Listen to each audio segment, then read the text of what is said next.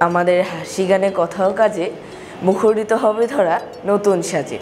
জাতীয় শিশু কিশোর সংগঠন ফুলকুড়ি আসর বাংলাদেশের শিশু কিশোরদের এক আস্থার ঠিকানা।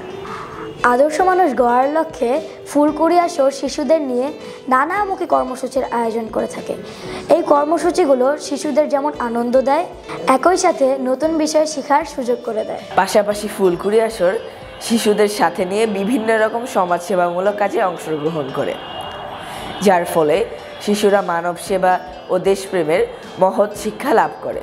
এভাবে ফুলকুড়ি আসর হাজারো শিশুর প্রিয় প্রাঙ্গণে পরিণত হয়েছে। পরিশেষে আমি বলতে চাই ফুলকুড়ি আসর আমার জীবনের এক অনন্য প্রাপ্তি। আমি ফুলকুড়ি আসরের সার্বিক সফলতা কামনা করি। আল্লাহ হাফেজ। আল্লাহ হাফেজ।